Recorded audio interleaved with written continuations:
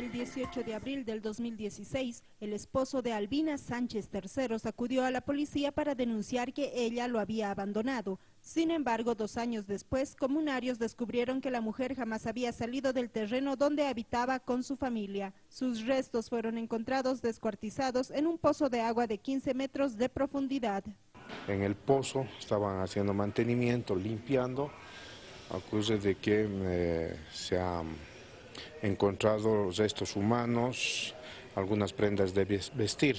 Y se conocieron la pollera, los encajes del vestido, ah, de la blusa blanca que tenía y se pudo establecer que con probabilidad se trataba de esta señora.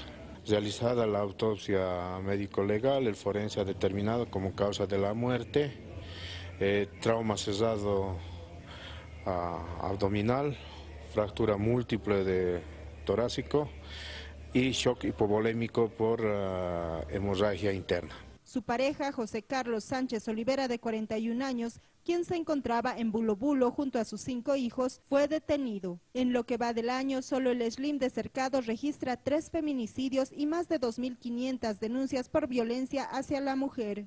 Lamentablemente hasta la fecha tenemos registrado tres casos de feminicidios en, Cochabamba, en las cuales también hemos dado ah, atención oportuna y se han hecho las denuncias respectivas. Hasta junio como SLIM tenemos más de 2.700 casos registrados por violencia ya sea económica, física o psicológica, de los cuales también nosotros vemos con mucha preocupación ya que los mismos derivan en temas también de intentos de feminicidio como ha ocurrido este, la anterior semana, el día jueves, donde una mujer ha, sido víctima de intentos de a la fecha, la FELCB informó que se reportaron nueve intentos de feminicidio en el departamento y más de 13 casos de feminicidios igualando a la gestión 2017.